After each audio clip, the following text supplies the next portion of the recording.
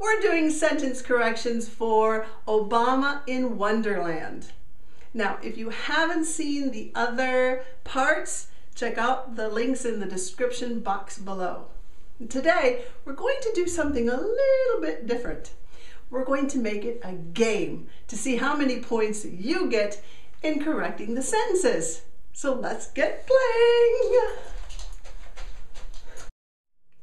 Here is how you can play the game. Each of these sentences is either correct or incorrect. Each mistake that you find, you get a point. Some are bonus points, so be careful. It could be tricky. you will be given three seconds to think about your answer, but you can pause the video for more time. Let's begin. This is our first sentence. Hmm, exactly. You'll just have to fight her huge and dangerous dragon, Jabberwocky.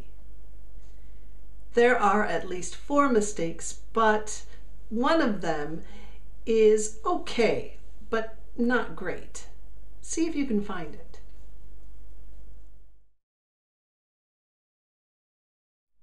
The first part, hmm, that is a sound. That means that you're thinking or you're taking a pause. But in this situation, we don't need it because the rabbit is trying to convince Obama to come help rescue Alicia. So we don't need it. Exactly. You'll just have to fight her. Huge and dangerous dragon. Okay, the ellipsis here is not necessary. What punctuation is correct. If you said a comma, great. Or if you said exclamation point with a capital Y, that's correct too. So you could say exactly exclamation point, capital Y, you'll just have to fight. Or exactly comma, you'll just have to fight.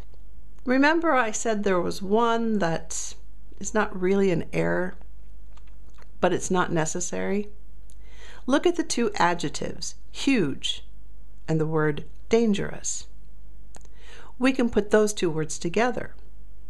Her huge, dangerous dragon. We don't need to say and. We can say, you'll just have to fight her huge, dangerous dragon. And there should be a comma after dragon because we have the dragon's name. Jabberwocky. So here's the corrected sentence. Exactly. You'll just have to fight her huge, dangerous dragon, Jabberwocky. Are you ready for the next one? The sentence says, draw, draw. Did you say dragon?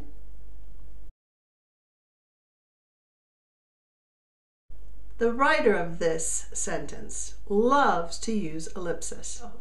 We don't need the first one because remember, an ellipsis is a pause for maybe thinking about something or to say there's more information that's not written down or not here. In this sentence, we don't need the first ellipsis. So the correction would be draw with a capital D, the ellipsis, to use as a pause, draw, another ellipsis, which is okay. Did you say dragon? Let's look at the next one.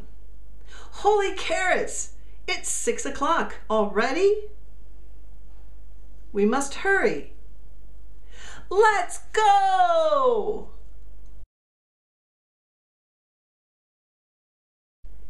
There are two mistakes and one unnecessary thing. Do you know what that is? Okay, so the first mistake is double punctuation. We don't need an exclamation point and an ellipsis. We only need the exclamation point. Then we would capitalize the W in we must hurry let's go. Again, we don't need that ellipsis. It would be a period or full stop, or you could use another exclamation point. The unnecessary one, or number three, would be let's go. Those words are capitalized.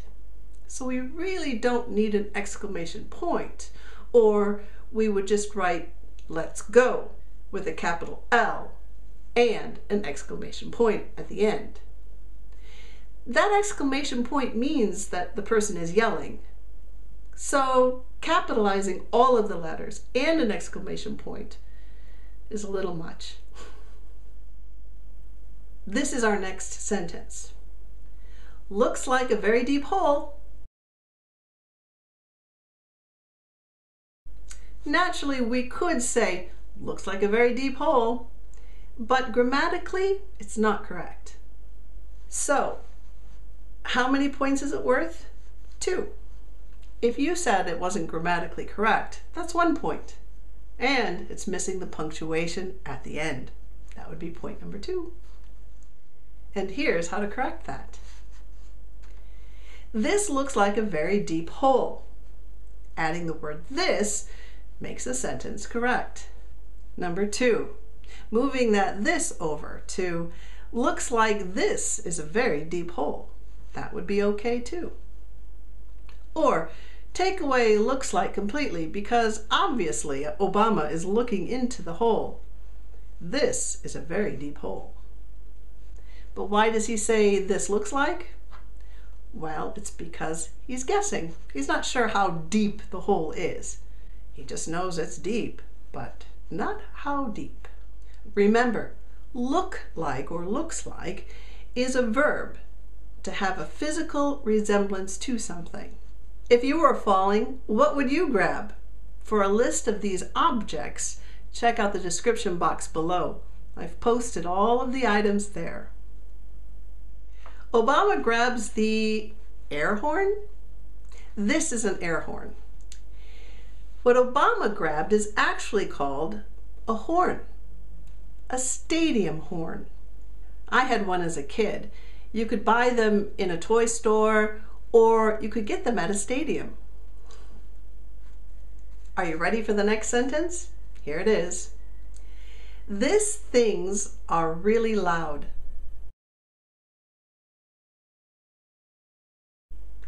Give yourself a point if you said that the sentence is wrong because of the word this. There are two ways to fix this sentence. Number one, if you're going to say two horns, we would say, these things are loud. But Obama has one horn, so he could say, this thing is loud. The exclamation point at the end is fine because Obama is surprised by how loud it is. So the exclamation point is okay. There's only a small error in the next sentence. Can you find it?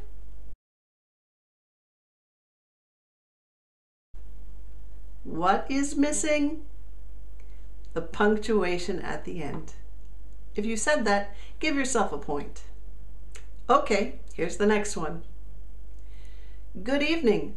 What can I do for you? This sentence is correct. Give yourself a point if you said that. Now you see two questions. Are they correct? If you said yes, give yourself two points because grammatically they are both correct. Here's the answer to the question. Alicia, the Queen of Hearts is holding her prisoner inside her palace. What errors do you see?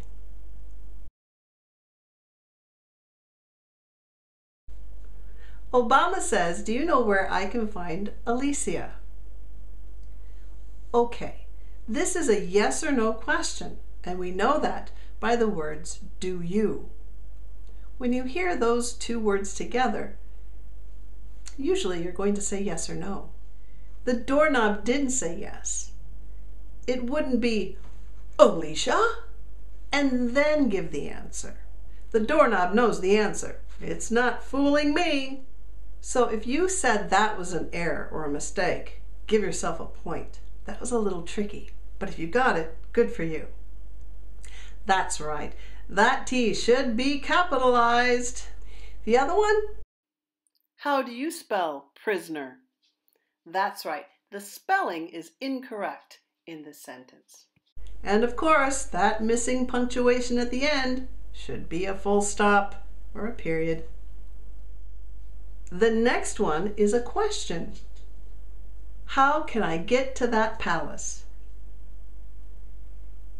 Can you find the mistake?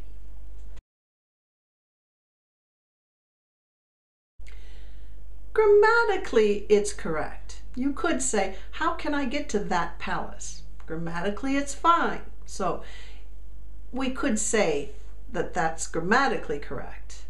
However, we're talking about a specific palace. So if you said that the word that is incorrect and you changed it and said, how can I get to the palace? Give yourself a point because that's correct. Or if you said, how can I get there? A native speaker would shorten that and just say, how can I get there? So that one was worth one point. Let's look at the next one. Hmm, you need to go through that tiny yellow door. There are some mistakes. Can you find them?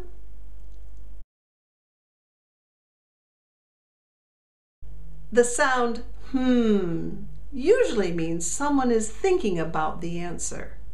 But the doorknob knows the answer. We don't need to say, hmm. Silly doorknob. And of course, what's missing? Right, the punctuation. So this one is worth two points. So the correct way to say that would be, you need to go through that tiny yellow door, period, full stop. Let's look at what Obama says. what are the mistakes? The first one isn't grammatically correct, but we may say this when we're confused. Tiny yellow door? But grammatically it's not correct. So that would be the first mistake. We can delete it. The second question, which tiny yellow door? Is that correct? If you said no, it's not, give yourself another point. That's right. Which is a choice word, as in, which one do you like? In this situation, he should say, what tiny yellow door? Because Obama wants to know the information. What door? We can combine those two to show confusion and ask the question. Tiny yellow door, what tiny yellow door? the doorknob replies, the one right behind you. This is correct. Give yourself a point if you knew that. Here's our last one for today. That's funny. I'd swear that wasn't there before. Are there any mistakes? That's right, that punctuation is missing. Give yourself a point if you knew that and used a full stop or a period. But what about the I'd, as in I would? A conditional? Is that correct? Yes, it is because Obama isn't 100% sure. So there's some doubt. That's the condition. Hmm. I'd swear. But I'm not sure. He's not 100%. I would swear, but I'm not 100%. But can we say, that's funny, I swear that wasn't there before? If you changed the I'd to I and made Obama 100% sure, then give yourself another point. That's right. You can say I'd if you're not 100% sure. Or you can say I swear because you're 100% sure. so give yourself that bonus point.